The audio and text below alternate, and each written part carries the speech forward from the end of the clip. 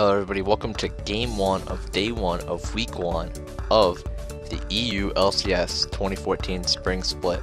First game is Fnatic versus Gambit. Here are the picks and bans. Fnatic banned Riven, Kha'Zix, and Yasuo, whereas Gambit banned Kassadin, Nidalee, and Elise. Fnatic picked Trundle top, Vi jungle, Orianna mid, Jinx marksman, and Annie support.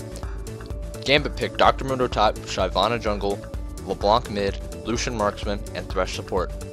Let's get into the game. Gambit try what one of the casters might call a cheeky invade level 1, but end up getting caught out, giving Fnatic first blood. They're going in for them. This is a 4 versus 3. Gambit could be in trouble. Look for the Pillar of Ice here as Fnatic come in. Genja gets completely stunned up. He's going to get locked up. The Ignite is burning on him. All five members come in there. It's Soaz that gets first blood. It's Genja goes down. And now Darien's being chased out up towards the top. Looks like Edward is going to make his escape. He's going to go for the teleport away. Will he get away in time? Yes, he will. Very well played. Next, Rekkles and Yellowstar prove why Doublelift said that Rekkles is actually pretty good. Gone flash straight in, Tibbers on towards him, but there's not enough damage coming out, and now Yellowstar gets pulled in towards the tower. Diamond joins them at the top here. This could turn out horribly for Fnatic. We, that's going to be a double kill! The super mega death rocket! Oh, and Diamond gets flashed away by Rekkles, but can he close the gap? He's going to go in towards Rekkles. He should. No! Barrier bait pulls him out, and they don't get anything! Ladies and gentlemen. Gambit try and take their second dragon in the game, but Fnatic aren't too happy about this and shove down mid lane to get the tower to get some more map control. A small team fight breaks out afterwards with the teams trading evenly, one for one. Edward coming around the backside of them. Remember, Shockwave was already used. The cooldowns down. They do take the tower down. Diamond has to try and jump away from this one. Dragon's Descent is going to help him get away. One kill goes towards Gambit, but is it going to be enough? They're going to try and tank off. Look at Soaz going in there. He wants Edward. He gets Edward. Can he finish off anyone else? It doesn't seem that way. It's going to be... The third dragon of the game is alive and available for taking if both teams want to contest.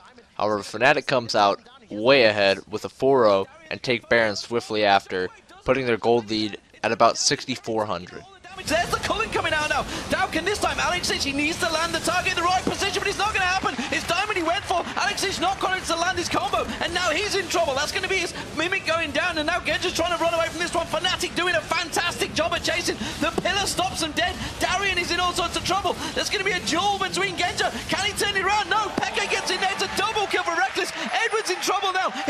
Get chased down. It could be the triple. Yes, it will. Rekkles is 6-0-2. This is a fantastic. Fnatic press their lead and show how little they care by just walking up mid and killing some people and taking an inhibitor.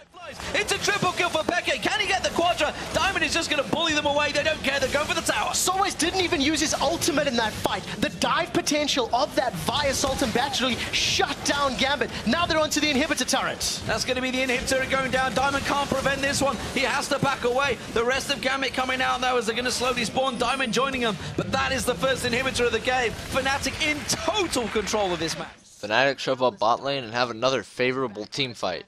They end up getting the inhibitor and both Nexus turrets, but don't end the game and are forced back. Caught Cyanide. Edward just gets pulled in by the shockwave, dropped right down. And Diamond, how tanky is he? It doesn't matter, he's just getting dropped straight down. That's the inhibitor turret going down there. Cyanide gonna run away from this one. Darien desperate for the kill, but he just can't get it. And now Rekkles comes back around the side. He's hitting everything. Peke gets the kills. It's another double for him. He's 816, the inhibitor. This is gonna be game Fnatic. Cyanide didn't even die. He got out. He dove into four members of Gambit, and the super tanks are tanky. It took them a while to die, but they didn't have enough damage. LeBlanc, Alex Ich has been unable to find priority targets, and Fnatic in 30 minutes are going to pick up the first victory of the LCS. Absolutely fantastic stuff. Fnatic just tanking down slowly. Will they get forced away? It seems they will. Soaz gets hooked. Can he? Gambit try a last ditch effort in taking Baron, but Fnatic knows what's up and end up killing them and winning the game shortly after. Straight down, Darien comes in, Diamond comes in, the tanks running the front line, but they just don't have enough damage to follow through. That's going to be another double kill for Peke. Darien's going to get focused on one more hit, should take him down. It's not going to be from Rekkles this time around. It will be. Finally takes him down. He's 8-0-9. Peke. While Fnatic run the Gambit's Nexus, I just want to take this time to quickly thank you guys for watching. I'll be covering all the games this split, which includes the next game, which is Copenhagen Wolves versus Alliance.